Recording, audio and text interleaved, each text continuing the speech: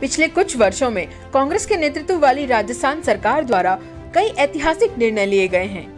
एक जनवरी 2004 अतः एक जनवरी 2004 और उसके पश्चात नियुक्त हुए समस्त कार्मिकों के लिए मैं आगामी वर्ष से पूर्व पेंशन योजना लागू करने की घोषणा करता हूँ।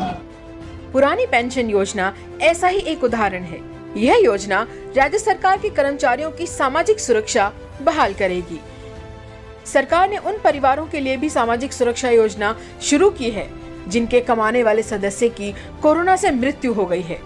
इस योजना में वे बच्चे भी शामिल हैं, जो इस महामारी में अनाथ हो गए हैं।